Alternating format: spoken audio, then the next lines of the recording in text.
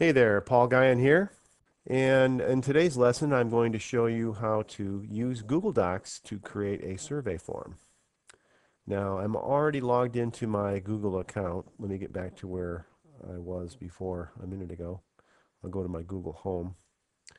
Uh, and to get to Google Docs, I have a little widget on my form, uh, but you might not have that there. So just go to your uh, this little tab right here account settings, scroll down, and these are all the um, products and services you have set up in your Google account. Yours will look different, but uh, find Docs, click on Docs, and then you'll see this screen right here.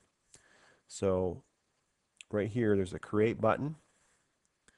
Uh, you can upload a form or you can create one. I'm going to create a form. And resolution. And I've got some questions prepared. Uh, I'm not going to, to add a lot of text on this form because this is the form editor, uh, because I'm going to be doing that in my um, blog post. So let me spell resolution correctly. Resolution. And I'll go over here and get my questions from Word. Uh, the first two questions are going to be uh, an optional name and email. And then what is your New Year's resolution? What's your biggest challenge in achieving it? And re what results have you gotten so far?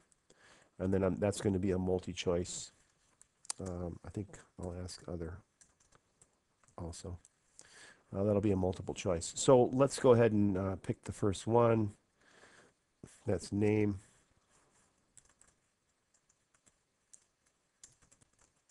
Enter your name, optional. and I'm just going to say that that way. I'm not going to click the uh, make this required question and I'll choose done. So there's my first question. The second one, I'm going to edit the one, that right there, email. Enter your primary email. I'm not going to make it, again, required. And then I'm going to add a text question. What is your New Year's resolution?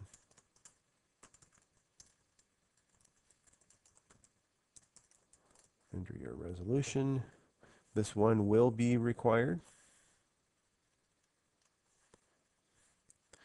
And the next question is, what is your biggest challenge in achieving it? I'm going to copy and paste this to make this go a little faster. And I'll add another item. It's a text.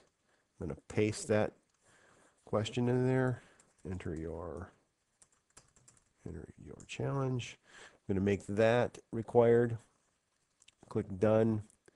And uh, what's the next one? Uh, what results have you gotten so far? I'm going to copy that, add a multiple choice because this is a multiple choice question. I'm going to paste, enter, choose your results or enter something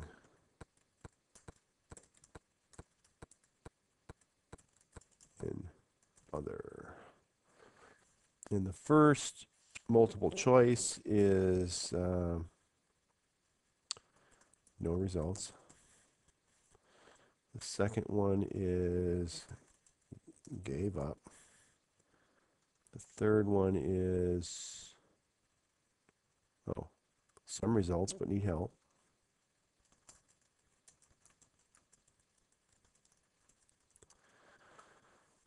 And the next answer is I'm on track. And then I'm going to add an other option by clicking here. It'll put an other so they can enter their own answer. And enter your own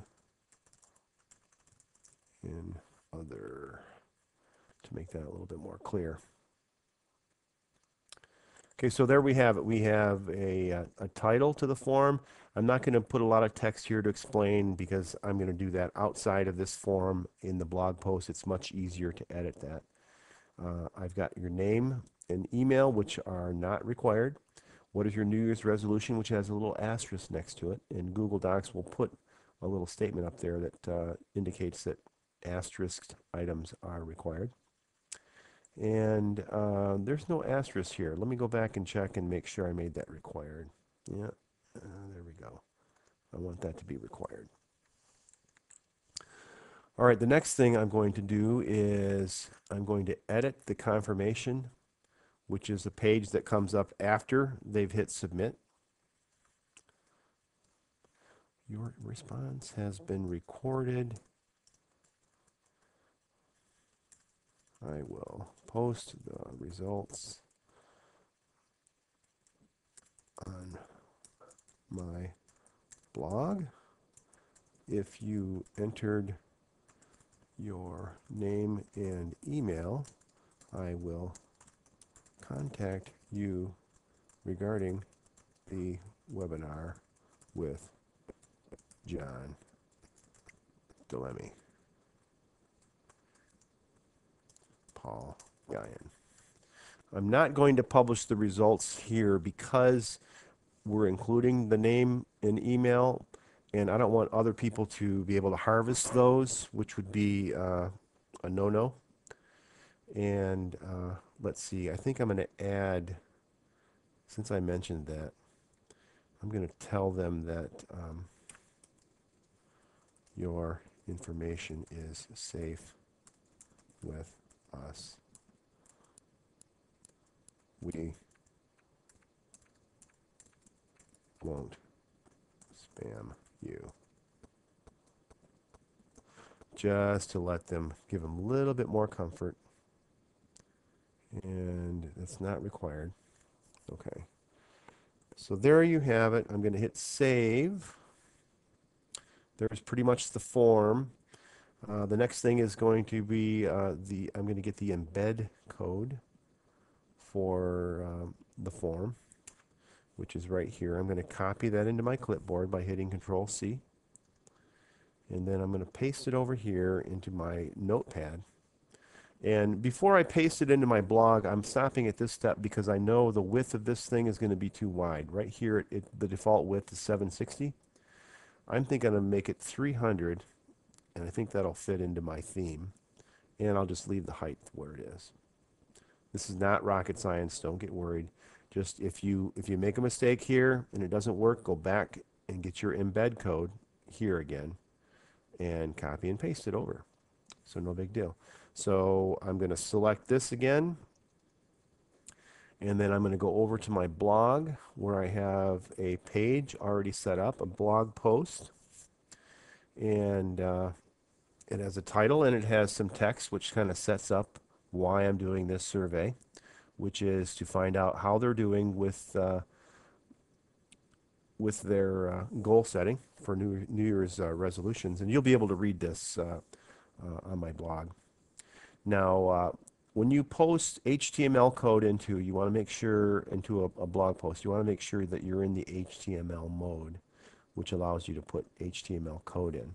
And so I'm going to, at the end of the post, add a couple of spaces and I'm going to paste that Google code, that embed form code right here. Then I'm going to choose update. That's going to save it. And now I'm going to view the post in another tab so I can switch over to it nice and easy. So there it is. What is your biggest uh, challenge keeping up your New Year's resolution? And this sets it up. And right here is the form. I think I'm going to widen it. I'm going to go back and widen it a little bit. Uh, or maybe make it taller. Because it certainly should fit within this frame. Uh, but I'll do that later off, off camera. Uh, I'm going to show you what it looks like. Paul Guyon. Here's my email. Please don't spam me. Lose